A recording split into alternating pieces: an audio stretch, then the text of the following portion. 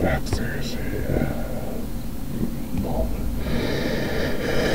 Uh, First, I saw Ozzy Osbourne live in concert. This was like many, many, many years ago, and this was supposedly after he was fired by uh, Black Sabbath. I was just like, what? And then seeing it live was just like